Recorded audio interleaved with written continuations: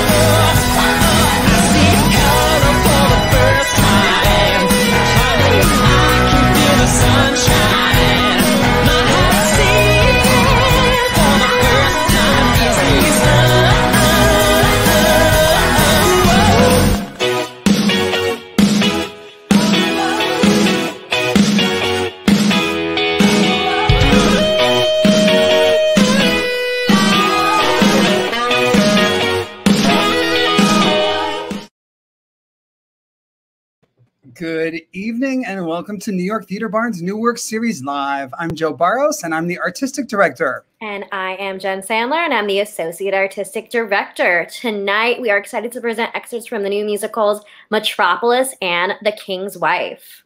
Metropolis is the new musical from AriDy Nox and Brandon Webster, and The King's Wife is the new musical from Mêlisa Annis and Grammy nominated songwriter Jamie Floyd. Yes, so like every week, welcome to the 13th season of our new work series, and the 27th. Every week, this number gets higher, and it's insane and amazing. 27th installment of our virtual series since March. And with all of our virtual programming combined, we have presented 56 new musicals, up, lifted up the work of 96 writers, and made space for over 250 artists. And we have partnered with Broadway On Demand. And like every week, we are simulcasting tonight to Broadway On Demand. That's right. And we also created Theater Barn Records, which is a new imprint of Broadway Records and dedicated to original musicals in development. Right? And in collaboration with Broadway Records, Theater Barn Records released our first album, Willow, last month on September 25th. That's right. And the album debuted at number seven on the Billboard Cast album chart, and Willow is available wherever you stream music. And it's pretty great. We also want to thank you for everyone who attended our Seat at the Table fundraiser event this past Monday. It was really such a special and extra stimulating conversation, and we are in awe of the amazing panelists we had and what they had to say.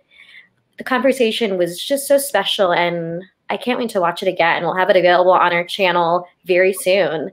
And we are excited about another very special event coming this Monday. That's right. This Monday, October 26th at 8 p.m.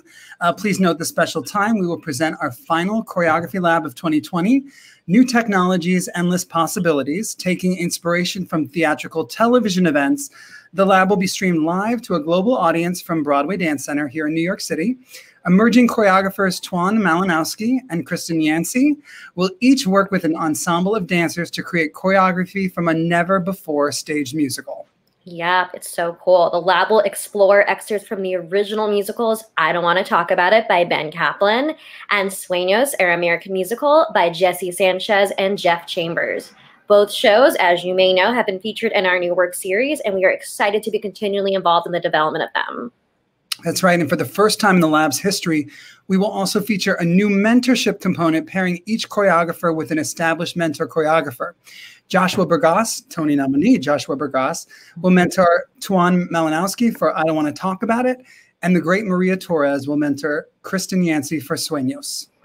Yes, and we've partnered with Full Out Creative, who will collaborate with the choreographers to discover new ways of presenting dance for the screen while also working with our New York Theater Barn team to evolve its programming and theatrical storytelling systems. That's right. And now more than ever, we need, uh, you know, pieces that sort of meet at the intersection of film and theater because our entire world has changed. Both choreographers will also join lab curator Avital Asulin for a conversation about creating dance for the stage versus the virtual stage. And most importantly, we are approaching this exciting hybrid opportunity with the health and safety of our artists and team members at the forefront. Exactly. We wouldn't be doing this if we weren't confident safety was there in front of us and we're excited about what we're presenting. And we hope you will join us for this thrilling and sure to be special night. The event will be free and you can watch it and stream it live to our channel, and it'll be on Broadway on demand. And now to tell us more about how you can support New York Theater Barn is one of the co-writers of Sueños, Jesse Sanchez. Hello, my name is Jesse Sanchez, and I'm coming to you from my home in Ashland, Oregon. My show, Sueños, Our American Musical, was featured in the New York Theater Barn's New Work series last fall, the virtual New Work series earlier this spring, and will come to life with musical staging for the first time ever in the New York Theater Barn's Choreography Lab next Monday. Pretty excited about it all. Sueños is an original Latinx musical that follows three generations of a Mexican American family in their pursuit of the American dream. The New York Theater Barn is excited about tonight's original culture shifting musicals, The King's Wife and Metropolis. The New York Theater Barn is a 501c3 nonprofit organization, and your gift tonight is tax deductible. Thank you again for supporting live theater and the development of new musicals. Enjoy the show.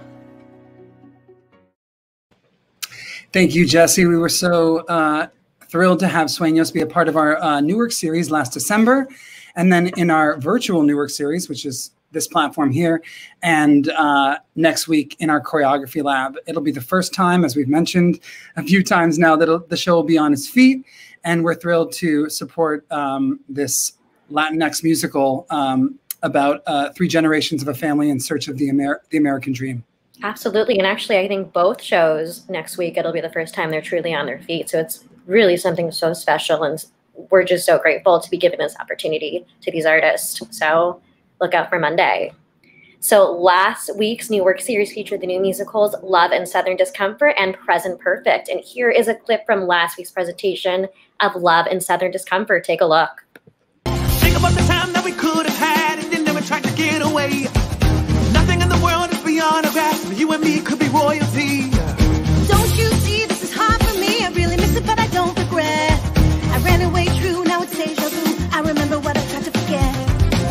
our duo began because Bobby and I, uh, he was an alumni of Book of Mormon as well. I was, you know, trying my hand at, um, you know, being a playwright. And so I said, Bobby, I think I wrote a play with music. And so I said, Can you take a look at it? He sat with it for like a week. And then, like, seven days later, he came back with three songs.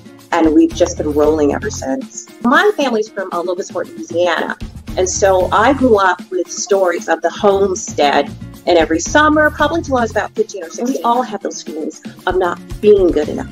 And so, I mean, the theme of the show is just love cures dysfunction.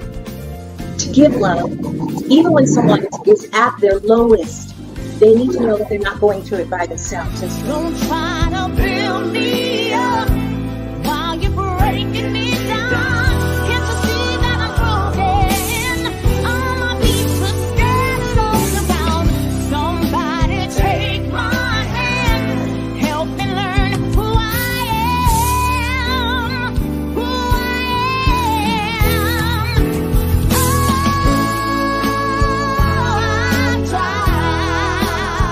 I kind of was like in, in between these two worlds. And so um, my grandfather, he was a piano player. And uh, I just, I never felt like he got his due because growing up in the segregated South. You know what I mean? So I kind of like built the story around my grandfather and uh, all of our like colorful relatives, you know, in, in the family land. And that's where the story came about. About like the family ties that bind. It's about dysfunction. Um, and it's about staying tethered to one another, even when it is so difficult.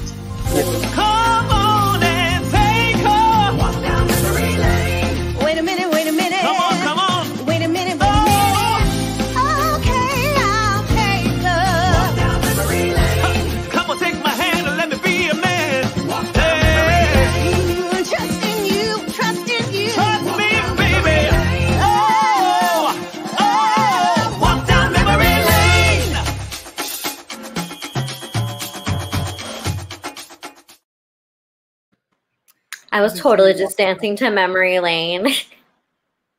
I've been singing Memory Lane all week. I just love Nikki M. James, and I just love Ramona Keller. That song, Liquid Courage. And remember CDs? I wore out the CD of Brooklyn, uh, especially the songs sung by Ramona Keller and Eden Espinoza. So it was very exciting to have Ramona on last week. They all get to be in this show, and we can't wait for it. That's right. And the show was actually directed by Tamara Tunie as well. Well. And now here's a clip from last week's presentation of Present Perfect. Take a look. Mi Peru, am I forgetting you?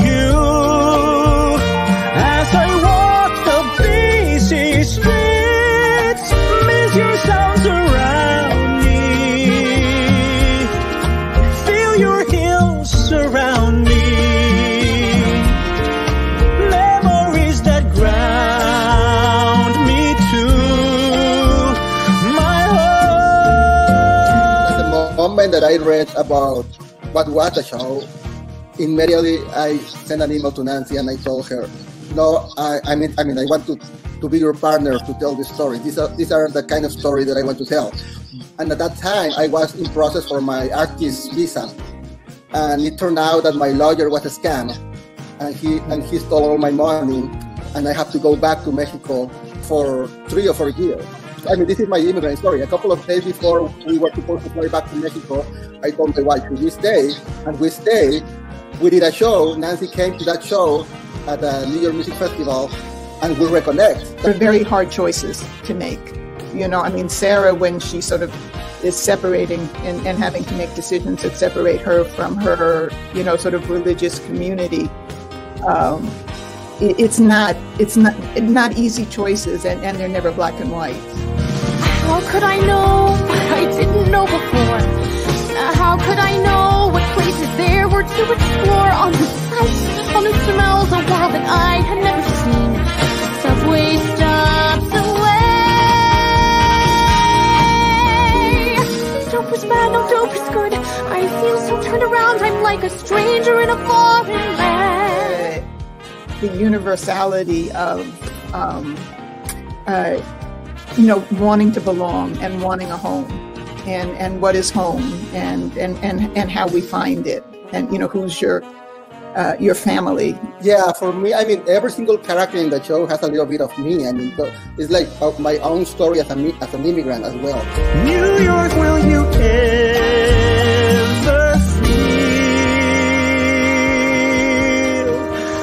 like home? Like home.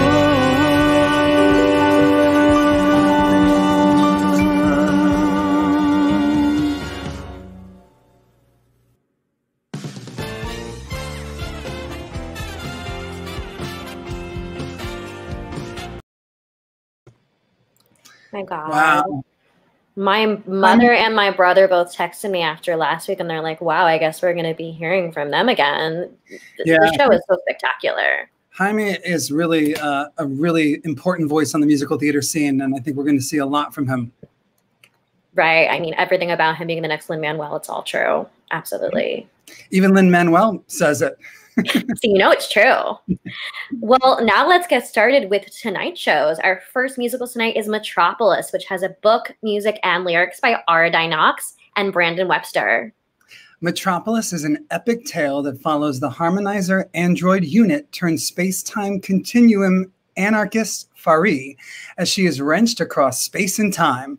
With the apocalypse hot on her heels in the past and the future, Fari keeps finding herself at the center of world defining moments. But will she be able to withstand the upheaval or will she crack under the pressure? Ooh. And now joining us from their homes are the writers of Metropolis, Ara Nox and Brandon Webster. Hi everyone. Hi, guys. I love Hi. the description because I'm like, oh, the drama. Yes, it's so dramatic. He also read it so many dramatically. Yeah, I, I read it a little dramatic. I saw you almost fall out of your seat back love there. it. All right. I like That's how you read it.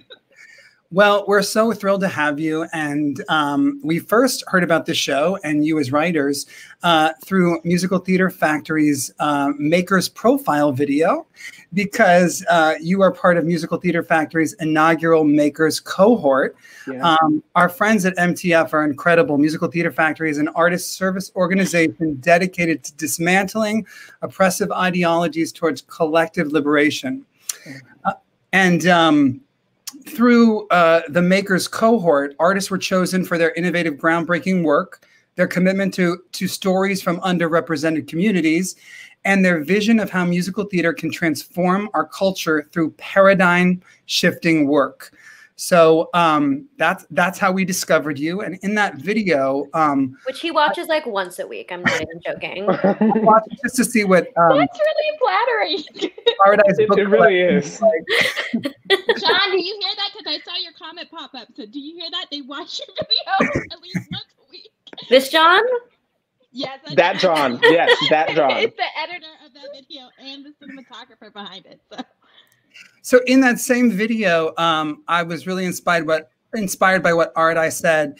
Uh, she said that the show is for an audience that believes in joy as a revolutionary force.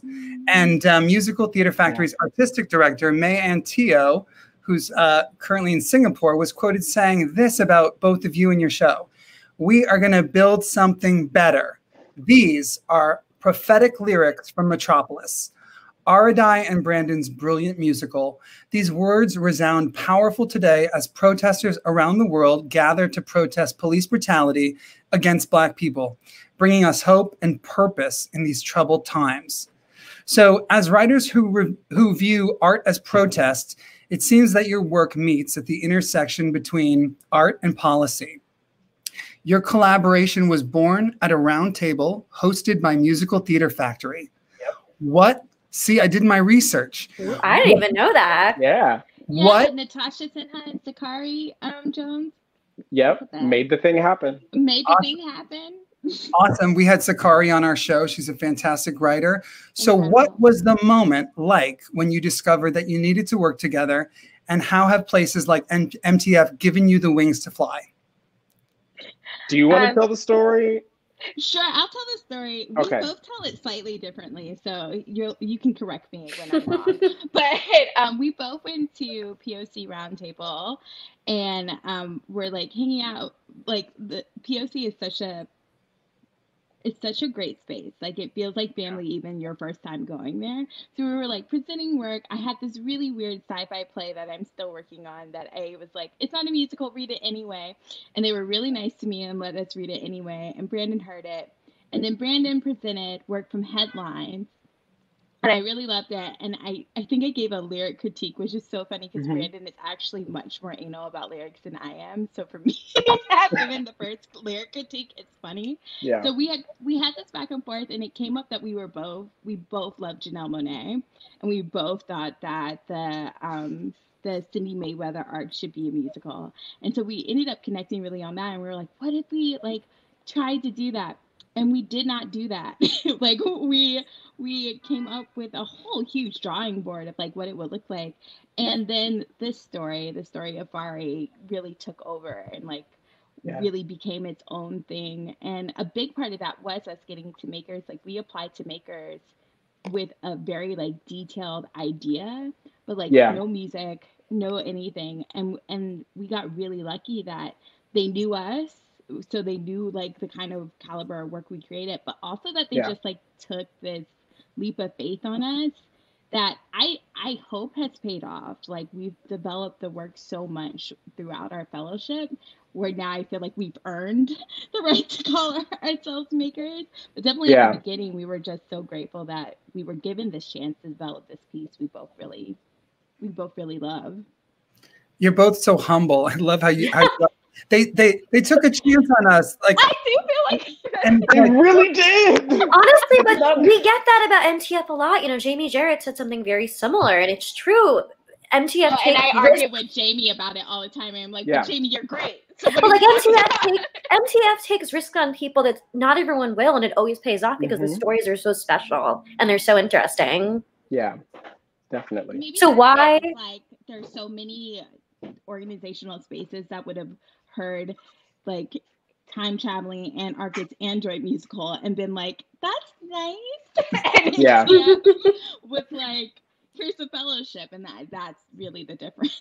Well, and it's so funny because even the first sketches of the music that we did, which only exist in vestigial sort of memo. structures, um, voice memo. most of the most of the original sketches most people didn't understand um one because they weren't completely full but also we're playing with genres we're mixing stuff we're trying to do things a little differently and you know a sketch doesn't always honor Right. what the whole song so i think that's partly what's so exciting about being able to be a maker and, and go through that program is i got to play through my sketches and then really develop it into something that could live inside of that world. And the other So- members are so great. You mentioned Jamie, like they're all so wonderful. And the second group too, it's Yes. so because we were part Rona of, like- is in the new group who we love. What? Yeah. It's it's just Whitney White. Like it's just Whitney a White. just a list of winners. Honestly, like, I've heard all of their. I work. think It's Jalen Livingston is also in it, right? Mm-hmm. Yes, who was Yes. actually our director for this development process we did with Western Carolina University. Shout out to the Yes. Jalen. um and J- and to Jalen and like was an amazing director for this process. Um, really helped with one of the songs that we'll be presenting tonight. Yeah. And for those people who don't know Jalen, um, he is the resident director of the of Tina, the Tina Turner musical, um, and he's also the director of Shapeshifters, a queer comic book musical that we recently presented as well. So tell us more about Metropolis. Why did you want to tell this story, the story of Fari? What what is it? Why time traveling?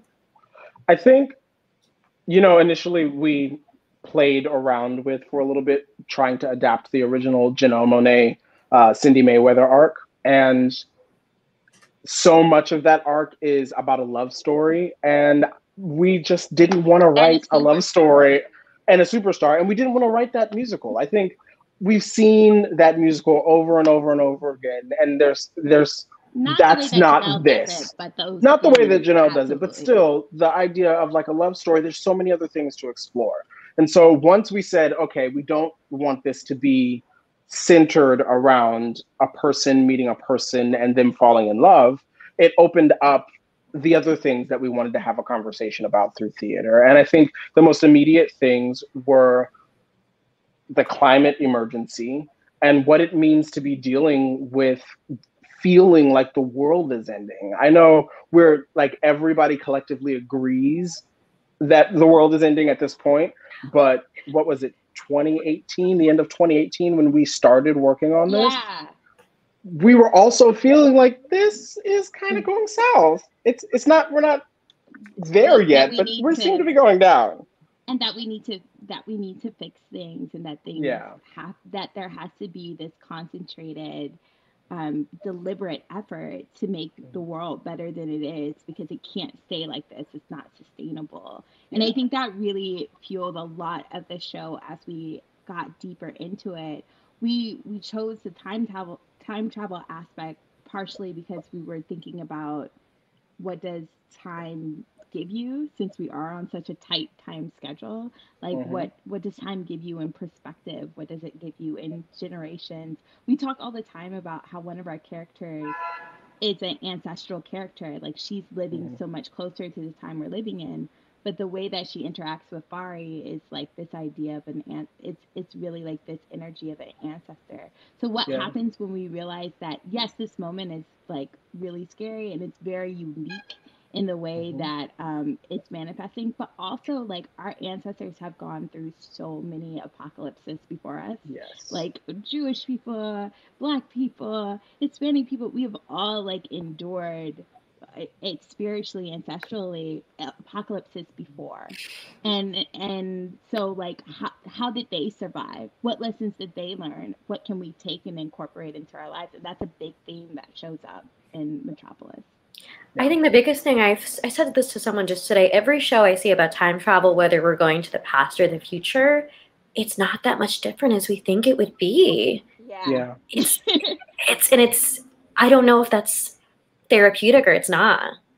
Yeah, it I- throws me off I- when I read when I read books and, and watch movies from like the eight, like Parable of the Sower is the perfect example of this by Octavia Mhm. Butler, where she wrote this in the 80s and it's supposed to be happening in 2021. And when I tell you it looks like 2021, I was Yes. not, it makes me upset.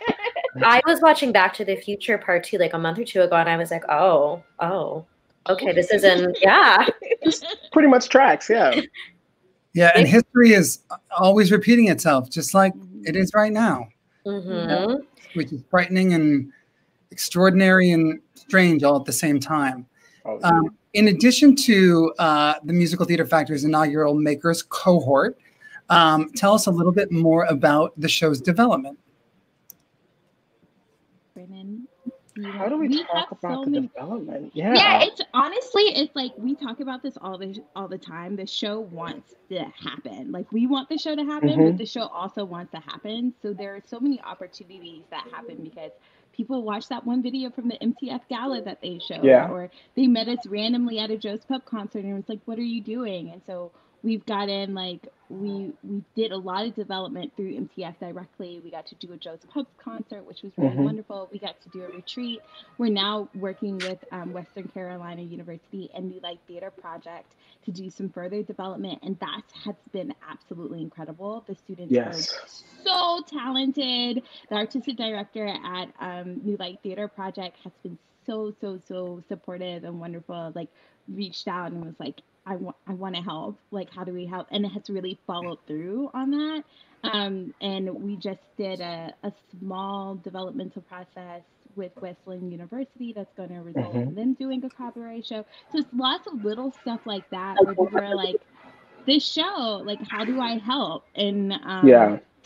and like Pete, I mean, but it's resulted in like so much of the show getting done. Like for the Western Carolina Yeah. University experience, we wrote a whole new song, and we have been really struggling with Fari and Yes. and Oh my gosh. Want song was gonna be. Yeah. And we were like, we have to write one for this because we need someone young to sing it, and we're out of college. It's the time to do it, and it forced us to do it. And it's like I think one of the best songs we've written for the show. So like Yeah. every little opportunity we've been given, and that one's a, a little more extensive, but every opportunity we've been given has really like helped us, um, both in like building community around the show, which is really important to us, but also Yeah. like in the actual creation of the work. I just want to Well, shout out probably- the oh, yeah, Western. go for it. you, I was, I was going to say, I want to shout out that your Western Carolina cast is on this chat tonight, making noise. we're going to see them soon, and then all the songs you're doing. Yeah, speaking I of want y'all to know that I did a deep listen to the tracks what last night for the first time, and I was like crying in the studio. It was wonderful. I love so college good. students so much. You just you can count on them for anything. I just they're the best. And the alum Um, too. It's not just students; it was students and alum. And the- and are alum. So really incredible. They've just Yes. been so great. And Well, so. Oh, look at them. Oh, they're the best. Yes. excited to lift up this material and see performances by these amazing Western Carolina University students and alums.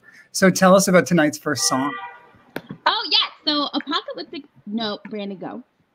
No. Yeah. No, I'll because go. I've been talking Great. a So go. Apocalyptic Lit is the opener for Act Two of our musical. It starts um, in another time of revolution because the story Metropolis takes place in two different rev- revolutions that happen um, throughout mankind.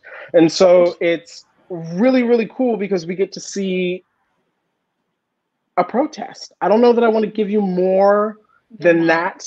It's the first song and first introduction to like this future world, and so much of Act One is like about like scientists and like academics and intellectuals, Mhm. and so for us it's exciting because Apocalyptic Lit is like movement people, and it's a different energy. it's just a whole different energy. So here is Apocalyptic Lit. Yeah, I think I just I think I don't riff. I just hit the I just hit it and then I y- yes. I'm just I'm just going to sing. All right, y'all, this is it. We've trained, we've plotted, we've prepared, and now here's our moment. The city needs a revolution, and it's up to us to give it one. What we do here today It's gonna change everything. All the humanoids, bios, and androids, we need your attention, and there's no need to mention that our goal is distraction. Evoke a reaction. Hide your face, ah, do your thing. Let the riot trumpets ring. Let them know that the city is dying. Killers kill and the rest are complying. Tear this shit down, make this bitch drown. Fuck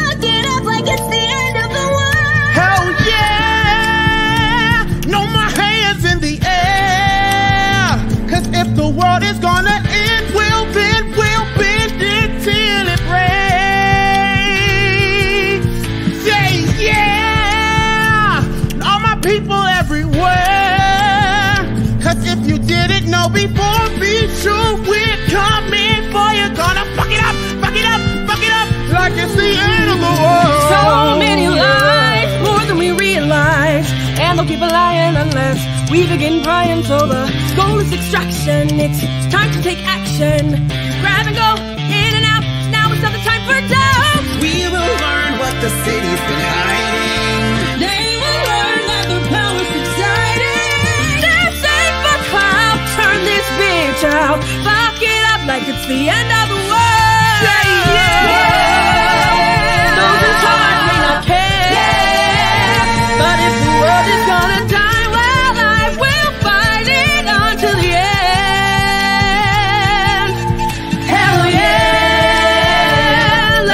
Let be a prayer. As long as some still dare to fight, we might just set things right. Whatever, fuck it up, fuck it up, fuck it up.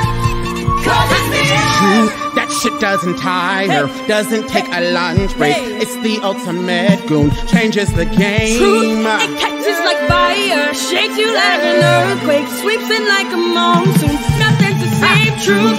Yeah, we're gonna wield it, and no, they can shield it. Won't stop till they yield, and the city's filled with truth. Cause truth will redeem it. We'll make what we dream it. We'll take the whole team. Let me hear you say, yeah, ooh, yeah. No hands in the air. Cause if the world is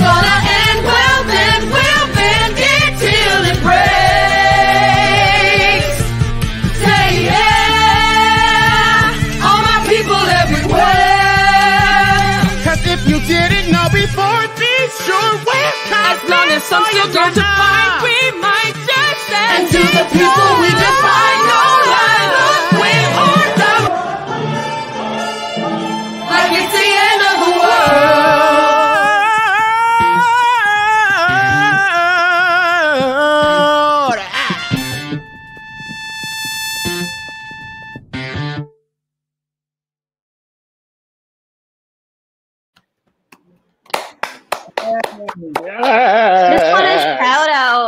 cast again. That's everybody, and ah, wow, Such a great cast.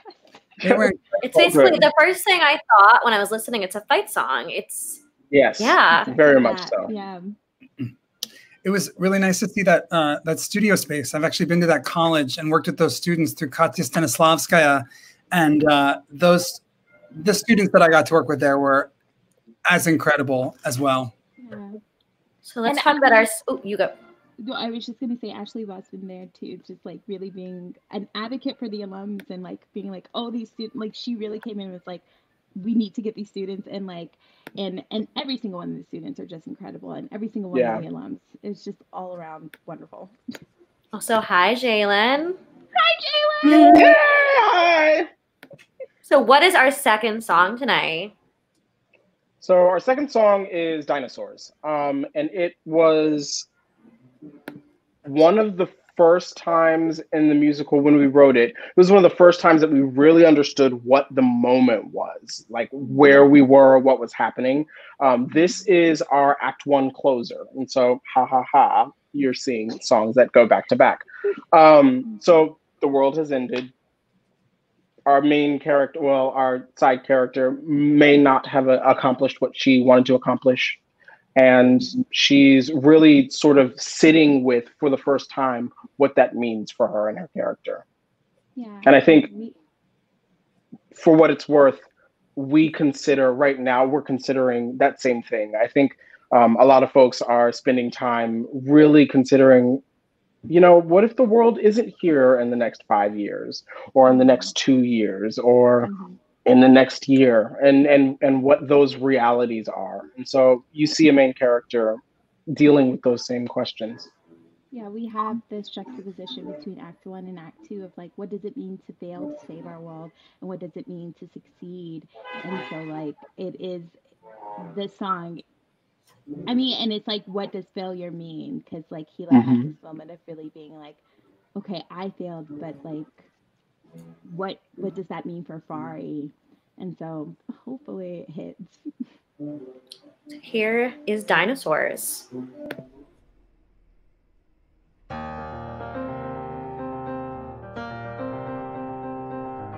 I put the tea bag in first? Sorry. How do you make your tea? Yeah, I put the tea bag in first. I Yeah. think. Okay.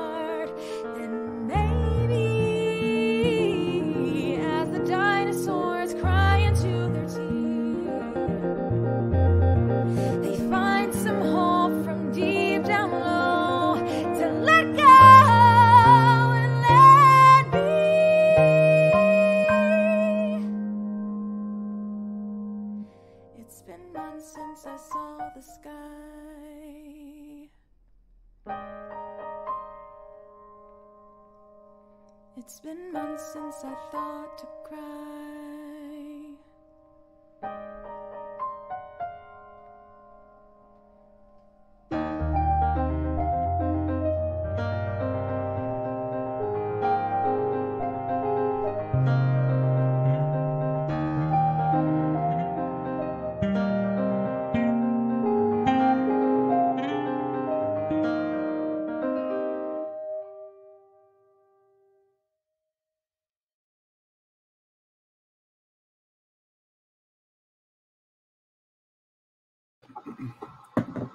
God. It's a recurring joke between me and Brandon and my mother that we can't like listen to Emma sing this song once. Like you have to play it like three more times. She's- her voice is just so gorgeous. Yes. What's amazing about that song is it appears to be a very complex song, but it's a very simple song with a really intricate uh, bass accompaniment motive. Um, I, I just I love the metaphor of like, oh yeah, I wonder if the di- I wonder how the dinosaurs felt when that was happening, or like, are we the dinosaurs of the next generation? Yeah. A lot of good. Absolutely. It's so funny because the crea- part of the creation of this song it was originally, um, I believe, a monologue that that art I wrote. It was a lyric that Um, we didn't set for the 4x15. It was a lyric that we didn't set for the four by fifteen. Was a 4x15 with MTF. And we didn't set this lyric. I had written this lyric where I had said, like, did the dinosaurs cry? And then a whole bunch of words that Brandon was like, those words aren't important. And he wrote a new lyric that was so much better. it was such a better lyric. And then what I like changed, I think just a few words, and then the Mhm. C section, and that's often we often go just like back and forth and back and forth. Um, and it helps that like that Brandon is so good at his shot because I think it's some like sometimes when people change my lyrics, I get a little like, okay, but my lyric was good though. But when Brandon did dinosaurs, I was like, all right, you're right. This is it. Well, you certainly both have a really special collaboration, and we can't wait to see more from Metropolis. So thank you so much for joining us tonight. And we'll see you soon. Thank you. Bye, guys. Thank you. Bye, y'all. So fun to have both of them here. It was great. Yeah, what a special show. All right, well, and now on to the second half of our presentation, The King's Wife, which has music and lyrics by Grammy Award nominee Jamie Floyd and a book by Mêlisa Annis. Yes, The King's Wife uniquely retells the relationship between Catherine of Aragon and Anne Boleyn, the first two wives of King Henry VIII of England. While historical accounts paint these women as bitter enemies, The King's Wife, using historical clues, flips the script to tell the tale differently. The story begins with them as like minded good friends, plotting and executing ideas for the people and the future before they are stripped of choice, options, and each other in a devastating game of politics and power. It's an untraditional period piece with a dark, progressive vibe and a moving, hopeful story about female friendship and the, de- and the detriment to the world when great women aren't allowed to rise. Oh, I love that sentence. Ah, yes. And now joining us from their homes are the writers of The King's Wife, Jamie Floyd and Mêlisa Annis. Hello. Hello. We're so thrilled to have you both here, and your uh, commercial producers are going to be joining us shortly. So thanks for being here. Thank you for having us. We're thrilled to be here. Jamie, you're joining us from your home in Nashville. Mêlisa, where are you? Oh, I'm in Brooklyn. So uh, not quite as glamorous as Nashville. I see your guitars behind you, Jamie. I always think I need to adjust my background whenever we talk. You're perfect. Don't worry. Well, it's really exciting that this new musical uh, has a female writing team and a female producing team. The story of Henry VIII and his wives are part of world history. I mean, we all know the story. Uh, history and legend have uh, converged over the past 470 years in our minds, in our literature, on our stages, uh, in films and in televisions, uh, in our homes. Um, this is ultimately an untold story and you in a unique and sophisticated way are reclaiming this age-old story um, from the perception of female friendship so often uh, women at war are what people are are selling and this is you know potentially about that but it's ultimately about a friendship between two women that has been overlooked uh, through history um, before we di- we dive in, I just wanted to acknowledge that Mêlisa, you're a storyteller who was born and raised in Wales. I am indeed. With Did our research. That's right. uh, uh, by way of a bartender, occasionally, I heard. this is very true. That's where my reputation precedes me, it seems. You're a storyteller who was born and raised in Wales with ties as a writer, director, and dramaturg. You've worked at some of the country's most incredible theaters, and you've had your hand in plays, musicals, and Shakespearean works. And you also have a presence in the world of TV and print media. Wow, you really have been researching. I didn't tell you any of that stuff. I looked on your website today. And Jamie, you are a Grammy nominated songwriter, and your songs have been sung by Kesha, Brian McKnight, Miranda Lambert, Ronnie Dunn, among others. So, is this your first time collaborating together? And what led you to want to tell this story together? Yeah, um, this is our first collaboration together, though I feel like Jamie has very quickly become a part of my family. So I hope it's the beginning of many collaborations together. Um, but yes, uh, so uh, one of our producers, Jen, actually approached us with the uh, story. or with the idea for the story of what if Catherine of Aragon and Anne Boleyn were actually friends and not these women sort of wanting to kill each other or or any of those things that we know. And in the beginning, I thought, oh gosh, how do we tell that story? Because you know, being Welsh, I grew up amongst the castles and you know, knowing the Tudors as the first Welsh line, I thought I knew the story backwards and forwards. And then um, we started looking at some source material, and actually, we realized that a lot of the stuff that we think we know are things that have been told to us secondhand by people with very much an agenda. And of course, that sort of old adage of uh, whoever wins gets to tell the history. Well, that sort of is what happened here, we believe. So, so when Jamie and I started working on this, we just kept discovering. I think is that fair to say, Jamie? Oh, absolutely, absolutely. I think the the more that that we learn about Catherine and Anne and, and what they did leave behind and kind of the breadcrumbs that they left, it's you start to piece things together differently. And um, Mêlisa has been such an incredible, you know, she she's been such an incredible resource um, and and and helping me um, and introducing me oftentimes to to certain things about about Catherine that she had in the works that I didn't even know about, you know, like books and, and songs and all these different things. And so it's it's been really beautiful to find that story out um, through some digging and, and to help put the puzzle pieces together.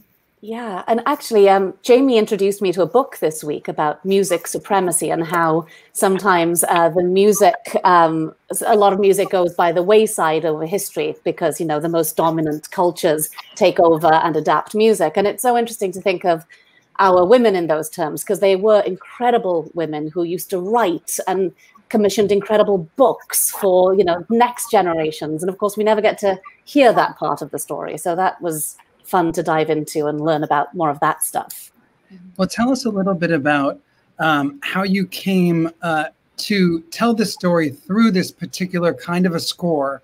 You know, I would say Jamie is like a guitar in a harpsichord world here. So, what is? Tell us more about uh, the score of the show. Sure, sure. Um, so this this is my first musical that I've ever been a part of. I've I've been real fortunate to, to work with scripts in, in film and television, but not in theater. Um, and so this was just a, such a beautiful challenge, and and um, and along the way, so so as a songwriter, I started in Nashville. That's that's kind of where I've come up and where I've learned my the craft. And in Nashville, it's all about storytelling, and, and the story is first. And I've just been very lucky to be surrounded by incredible storytellers, like the best in the world. All come to Nashville as far as songwriters, you know. And uh, I feel like at some point or another, they weave their way here, and, and I've been lucky to, to be around a lot of them and to absorb all of um, all of that or some of that knowledge. I hope and and so I've taken that foundation um, that makes country music so incredible, and I've applied it to the theater world. And I think I've done the same thing when I got to write and pop music things. Um, so that's all helped me kind of find my way here to where we are with the show. And and I feel like I've I coming from the commercial music world, I've been able to kind of take structure and things that that work in pop songs and that help make things memorable and and and sing alongable and and um, take take kind of the best parts that I think from commercial music and country music and try to infuse them and combine them with what makes theater so incredible.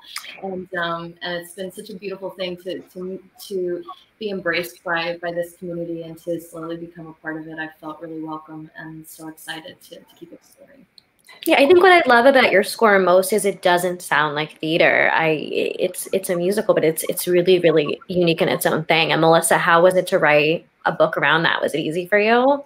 Yeah, well, we've been working in tandem a lot. So it's less a case of it's not sort of jukeboxy in that way. You know, it's a case of that we'll come up with a couple of beats that we want to uh, work with in terms of storytelling. And then sometimes I'll bang out a few pages and say, Jamie, what can you do with this? And she'll say, look at this incredible anthem that I've created for the musical. And I'm like, how did you do that? Um, so there's a lot of that that goes on. Um, and then, of course, it keeps evolving. Everybody who works in theatre, you know, knows that things keep changing. And I think that we keep changing as women and the world keeps changing. So the play, as it sort of keeps growing, I feel like Jamie and I are constantly shifting the way that we work because you just have to in this crazy world. And emotionally, you have to just figure out different ways to hit different beats in the show, if that makes any sense. Sure, absolutely. Well, we're going to bring on your amazing producers now, Jennifer Grant and Abigail Solomon. Hi, guys. Thank you for joining us. Yeah, we're so glad to be here. I, I we love this show. So Before Jen asks you a question, I just want to say it was so exciting to watch you both backstage as you were experiencing this, hearing us talk to them and hearing the things that they would say and to see how excited you would be about those things. So I just love, love each other. It's wonderful. Yeah. So tell us more about the development of the show, Abigail and Jennifer. You have a lot of exciting things in the pipeline. Yes, we do. Um, uh, fill in any blanks of missing, Abigail. You know, basically the first three years, um, we started this process in like late, late, late 2016, like almost 2017. And the first three years of the King's Wife development were really behind closed doors with trusted friends reading here and there. Um, and, you know, now we're sort of slowly uh, launching it out via our Instagram channel, like sharing music, and we've developed a real lovely fan base. If, if everybody wants to follow, it's at the King's Wife Musical on Instagram. Um, and uh, you know, so so we're getting responses from fans and, and so and so forth in the industry also. So um, Jamie was able to explore some of the music in this year's new songs now with Rattlestick Theater, which is a company we love, um, and also uh, the wonderful Playwrights Horizons is going to give us a 29-hour reading in the spring, which we're very excited about. And the uh, the really sort of super spectacular uh, director Tamilla Woodard is going to uh, direct that for us. So um, uh, lots of things happening. We're having conversations with the UK and Australia producers in those territories um, for when the world reopens again, of course. um, and yeah, you know, just just a lot uh, happening, and uh, you know, luckily, uh, you know, my my producing, my dear producing partner in crime is is is joining for this, Abigail from Roslyn Productions, and you know, this is a show that really fits into both of our personal missions as producers. And why did you two think it was important to have an all female creative team? You know, you have female producer, you have a female writing team. I think that's spectacular and so important to celebrate. We love women. we do. Any day of the week. We like men too. For me personally, Rosin Productions, the mission is um, strong, unique female characters. And sometimes they're written well by men, and often they're written well by women. And that's what's so exciting. You know, the mission of my company is to change the narrative to eliminate gender and racial bias. And what's amazing about this story is I said to these ladies, they've literally, in gen, you know, the three of them who created this, I just came on along for the ride. Um, they literally have changed the narrative with a historical story that everybody knows. And nobody's heard this story before, really, the way they're telling it, which is pretty amazing. Yeah, and also it's um you know it there's a lot of like it, the stories you know Mêlisa's book and the music at points is very humorous and uh, there's a lot to the story most certainly but this is it's a dark story like this is you know it, it's there are some tough moments in this show. And and you know to be able to do that we just really felt that it needed to be written by women who have not of course necessarily had Anne and Catherine's experiences but have had experiences in the world that could potentially speak to what these two women go through. So um, from that standpoint we really thought it was important to have uh, you know an all women team. I just remember being a kid and thinking, how could somebody order somebody to have their head cut Yeah, off? I Like, mean, I mean, and Joe, quite honestly, that's not even the worst of it. You know, it's the fact that women had absolutely no choice whatsoever over what they were allowed to do uh, with and for their own bodies. You know, Well, it was and it- all about, you know, having an heir. yeah, and basically we that's all we were there for. So it's um so it's really interesting now that we're in this time that we're sort of dealing with that idea of choice and ownership again and sort of how we can find agency and protect our rights, you know, and that's a lot of what the story is actually about. Yeah, it's incredibly moving, incredibly moving. What Jamie and Mêlisa have done is, you know, exciting, important. Um, really, it's it's incredible. So we have two live performances by Jamie tonight. What is the first song we're going to hear? Well, Um, yeah, Mêlisa, do you want to set it, set it No, up? no, well, I talk too much anyway. No, I was just gonna. I'll set it up, but you can tell us something else if I miss it out. If you like. Um, so this is a song called "I Know You," and um, so Catherine of Aragon was actually pregnant seven times, and uh, only one of her children lived. Uh, that would be Mary, the princess that most of us know as Bloody Mary. And um, so this song actually comes um, as she's just given birth to her seventh stillborn child. And Anne Boleyn is coming to her bedside and comforting her in this moment and trying to help her through this dark time. Here is Jamie. Yeah, this is I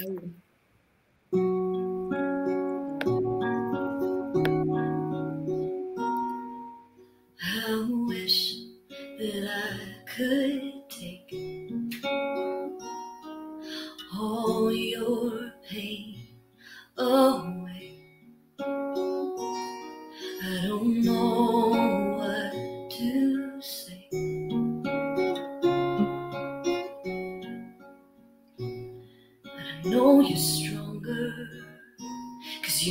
Something they can't touch.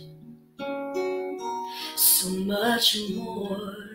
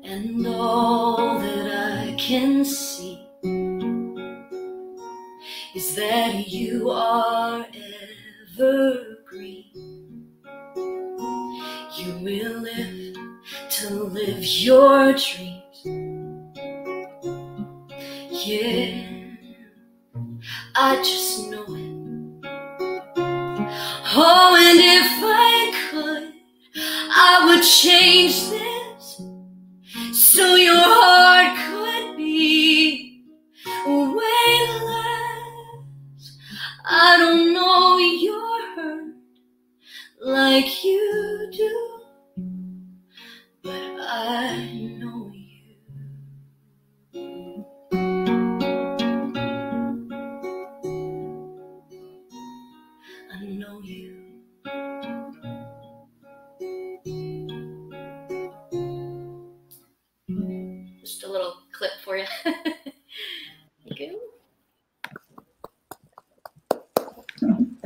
I, I find it hard. I have to remind myself not to mouth the words because I love that song so much Well, Jamie's singing.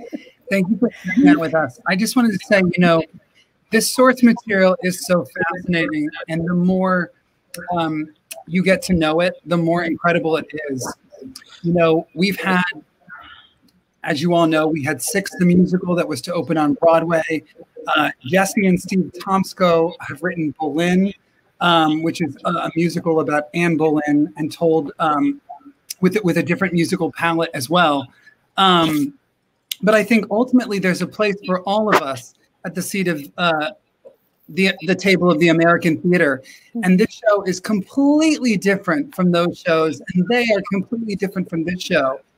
Um, and I think um, you know Six has a very different tone. So does Boleyn. So does The King's Wife.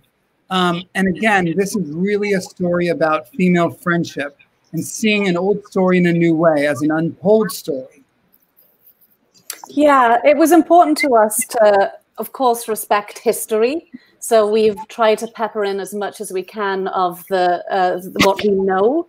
But what we really wanted to do was just sort of um, put a new lens on it and take away sort of the things that we've been told over the years and just look at it from a different angle and just turn it around a little bit. And as you say, you know, there's space for all of the stories because we're all different and we're all telling them from different perspectives. And I think that that's okay and to be celebrated. Absolutely. And with that said, we do have a song that you are debuting tonight. So let's talk about that song. This is so exciting. Um, this is a song that Jamie geniusly put together, what, 10 days ago, 14 days ago? so it's brand new. Um, I don't think anyone's heard it yet, actually. I think it's, uh, yeah, really new. It's um, a duet. It'll eventually be a duet between Anne Boleyn and Catherine of Aragon. And basically, storytelling wise, what happens is um, Catherine has commissioned a book, actually one of uh, a very well-known feminist book, um, to try and help her daughter master being a queen of the kingdom, because ultimately she is the next in line. So, um, so this is uh, them realizing that they have a responsibility to get uh, Mary ready for uh, the throne. Here, once again, is Jamie. So this is called The Torch. There's so much more to conquer still. And the prayer I pray is that she will take my place and carry on to challenge where the lines are drawn. Life will tell her she doesn't count. And when it does, she can't back down. For generations, our voice was lost. Future ahead will be worth the cost. We must go on and pass the torch. Leave open doors. Light the ways to tomorrow's pain. Will be far less than yesterday. Flame by flame, step by step, they will find what we left. This is what we came here for.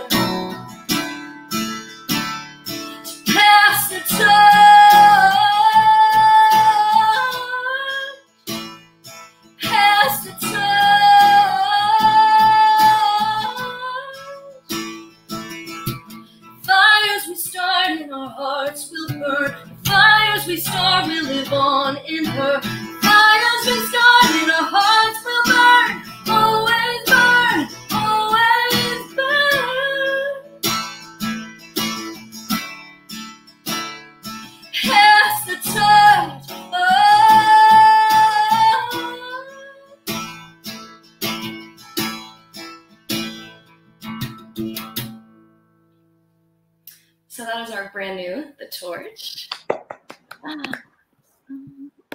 Thank you all so much for letting Yeah, all- we are so excited. For Yeah, that we are so excited for at that. I have a little clip of, of some of the new verses and, and the chorus and where we're taking it. And um, I just, in writing all of these songs, I, and and again reading the, the real quotes and things that we have um, from from these women, you know, I, I what's been really powerful is to remember that they they were real people. You know, this is not this is I just I've been trying to connect with with that energy and that these women were um, were were brilliant. You know, and Catherine was this this brilliant leader that just um, was constantly having her dial turned down. You know, and I um, it's just feels I, I've been trying to you know you were saying this doesn't sound like you know musical. These songs don't sound like uh, as as um, I guess they don't they don't sound like um, a classic musical theater song, and and that is because I'm trying to find Catherine and Anne's voices in this, and maybe their voices sound different, you know, and that's what Thank you for listening. Let me try that out tonight. So I think we want to end. What about Anne Boleyn and Catherine of Aragon do you wish more people knew? You know, why has their story been so complicated and sensationalized? Oh, what a great question. Um, I think that sex sells. And the idea that Anne Boleyn was this vixen, this sort of um, power hungry woman with ambition, where have we heard that one before, um, was very sexy uh, to a lot of people. And of course, we have to remember that um, Henry had, what, four more wives after Anne? So uh, he had a lot of uh, propaganda he had to push out there. And uh, so the thing that I've really discovered is how smart, these women were. Um, incredibly intelligent and also creative women. Anne Boleyn wrote songs, she wrote operettas. Um, Catherine of Aragon could speak many languages, as could um, Anne. And it's, it's just been nice to be in the presence of brilliance and not sort of in the presence of the, these kind of flimsy characters that are always in the shadow of the king and they're definitely he's barely in our show so it's quite nice to have them have a voice at least that's what i think that's been my discovery I just want to also shout out um, Show Shepherd, our amazing board members, Blair and Matt, have been involved with your show, and we're so thankful that they brought the show to us. Yeah, we love those guys. They're so great. And Jamie, you were going to say something. Oh no, I was just gonna say, just just briefly, you're saying something that I learned, and this is something Mêlisa brought in, in our last uh, version of the draft. I'm reading it, and and I get to this um, this scene that she incorporated about Catherine writing a book for for Mary, and and I was like tearing up, and the scene it just like hit me so hard, and it felt it felt so real, and I I, I called Mêlisa, and I was like, oh, I love this thing about the book. Oh my god, how moving! And she's like, that's true. so it's just been incredible to see how she's she's woven in these these facts about these women that, that I never knew about, and that's one of them. The, the book that Catherine was leaving behind for Mary was really special, and you just see what they were trying to do, mm-hmm. you know. And I think what's really fun about working with Jamie is that she'll get inspired by something I find, and then she'll go down a whole rabbit hole hunt, and then I'll get inspired by something she finds, and then it ends up being like a week of, oh my gosh, look at all this stuff. It's like a treasure trove. yeah, because of that book, because of her finding that piece of history, that's how I was able to write the torch. That's what it inspired in me. And so, um, yeah, these it all kind of weaves together. But, but Mêlisa and I have had a, an incredible chemistry from the very beginning. It's been, it's been a joy. I just gotta flash this comment one more time because it's it's so on. And with, and with that said, thank you all for resurrecting the ghosts of these women to sort almost change history and almost to inform our future uh, and to make it better for for the women in our in our world. So thank you all. Thank you. Thank you for having us. Yes, thank you for having us. And shout out to Metropolis. It's amazing. Yes. we'll see you guys soon. Have a good night. Bye, everyone.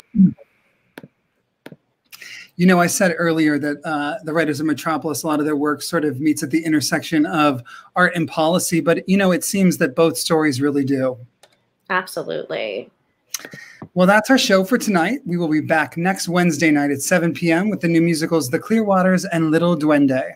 Yes, The Clearwaters is written by Russ Kaplan, Daniel John Kelly, and Sara Wordsworth. And Russ and Sara are two of the writers of In Transit, and we are excited to have them be a part of the New York Theatre Barn family again. And Little Duende is written by Robbie Hager and Georgina Escobar. And Robbie is also a performer, as you might know, and we were excited to have him a part of Zoe Sarnak's presentation of A Crossing just this past summer. And we look forward to welcoming him back to New York Theatre Barn as a writer this time. That's right. I had no idea he was a writer, and he's such a talented performer. So I'm excited to see that he's telling stories. Um, it takes an incredible amount of work to make tonight's show happen. And in order to continue to lift up artists and original musicals, we really need your help. Please join our generous donors by making your gift today on our website at nytheaterbarn.org slash give. Again, that link is nytheaterbarn.org slash give. It is right on the bottom of your screen right now. Thank you for tuning in tonight, and we look forward to seeing you Monday at our choreography lab. That's right. And we can't wait to hear more from The King's Wife and Metropolis. So thank you for supporting live theater. Good night. Good night. New York Theatre Barn has provided an amazing space for the development of original new works, not just as a woman, but as a queer woman, I've been supported at New York Theatre Barn. So I really feel thankful that um, I've gotten to present this because I feel like as I've been able to take up more space in different rooms, this, music, this musical's allowed me to do that. So it's the power of new work, the magic of new work. and I wanted to say a huge thank you to Joe Barros and everyone at New York Theatre Barn for being a creative home to so many artists and incubating such exciting new work. Well, I want to thank you and Jen for having us on the show today. Um, if I had known what goes into doing these things, I would have, I don't know what I would have thought. First of all, you two are both like Mr. Wizard. You're just unbelievable. And all of the technical stuff that is involved with putting these New Works series together and our special uh, event tonight, uh, it's just overwhelming and astounding. You both are phenomenal. So thank you so very much. I applaud you both. You're amazing. Thank you for me too. Thank you for me too work.